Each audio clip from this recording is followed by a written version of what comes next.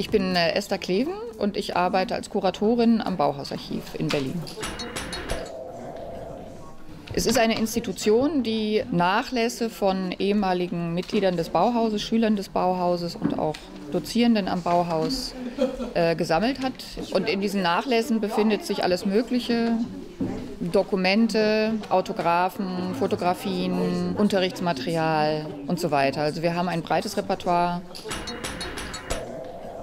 Erstmal ist es natürlich eine Verpflichtung, das online zu stellen. Wir haben jahrelang da wenig Zeit für gehabt. Also wir sind eine sehr kleine Institution, ein Verein.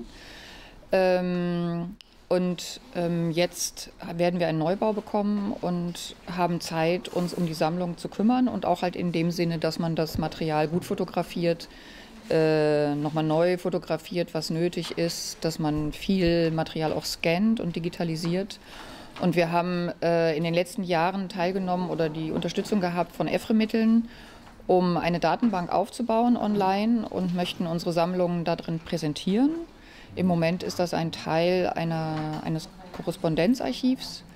Aber wir haben natürlich auch Objekte in der Sammlung und wir haben noch ganz, ganz viele andere Materialien. Ähm, und wir müssen uns überlegen, wie weit wir darin gehen und auch wie weit wir darin gehen können rechtlich gesehen, technisch gesehen, infrastrukturell gesehen.